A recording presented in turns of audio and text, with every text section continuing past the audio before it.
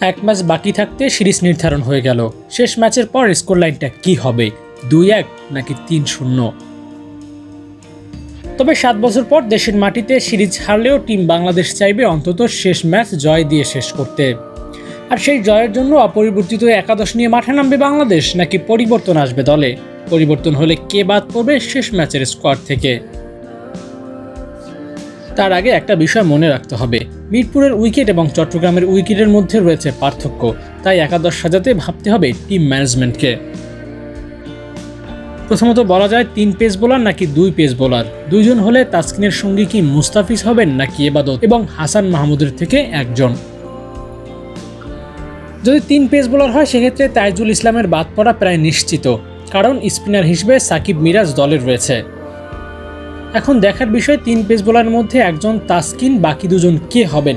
হাসান মাহমুদ, এবাদত নাকি মুস্তাফিজ এবাদত? এমনও হতে পারে তাসকিন, হাসান মাহমুদ, মুস্তাফিজ। ফিজকে দলে রাখতে পারে এই বিবেচনায় যে হাতরু সিংয়ের বিশেষ দৃষ্টি থাকবে এই বোলারের উপর।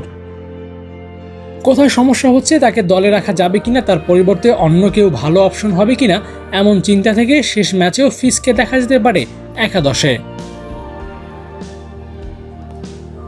শেষ ম্যাচে সবার আগ্রহের কেন্দ্রবিন্দু থাকবে তৌহিদ হৃদয়ের অভিষেক হবে কিনা? তার আগে দেখি নেই এই সিরিজে ব্যাটাররা কে কত রান করেছেন। দুই ম্যাচে দলের হয়ে সর্বোচ্চ রান আসে সাকিবের ব্যাট থেকে ছেষট্টি রান। এরপর রিয়াদ করেন তেষট্টি রান এবং শান্ত তামিম আটান্ন রান, আফিফ বত্রিশ, মুশফিক বিশ, মিরাজ চোদ্দ, লিটন করেন সাত রান। এই হচ্ছে আট ব্যাটারের রান। কোনো ব্যাটার খুব ভালো ব্যাটিং করেছে, এমন বলার সুযোগ নেই। এমন অবস্থায় তৌফিক হৃদয়কে দলে সুযোগ দেয়া যায়। কিন্তু এখানে বড় প্রশ্ন, হৃদয় কার পরিবর্তে একাদশের সুযোগ পাবে?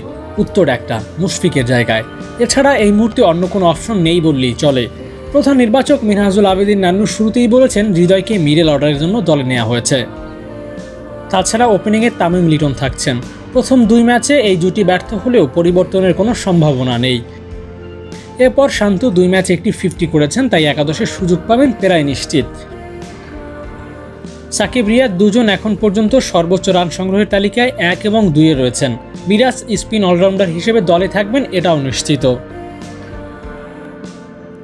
শুধু মুশফিক রয়েছেন বাকি। এখন দেখার বিষয়, সিদ্ধান্তটা কি আসে, মুশফিকের পরিবর্তে হৃদয়কে সুযোগ দেওয়া হয় কিনা? এই একটি জায়গায় নিয়ে ভাবতে হবে কোচ, অধিনায়ক এবং নির্বাচকদের। সিরিজের ফলাফল নির্ধারণ হয়ে গেছে। যারা দলে ছিল, সবাইকে আরও একটি সুযোগ দিয়ে পর্যবেক্ষণ করবে কিনা নতুন কোচ এমন হলেও তো হতে পারে।